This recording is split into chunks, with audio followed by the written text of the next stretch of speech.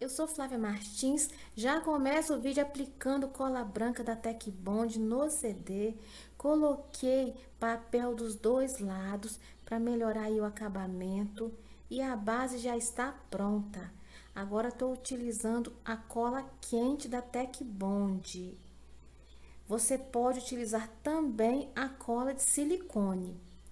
Olha que lindo que ficou esse enfeite que você pode decorar a sua casa ou vender. Deixe aí o seu like, seu comentário, compartilhe o vídeo com as suas amigas, inscreva-se e me siga nas redes sociais para não perder as novidades. Tchau, tchau!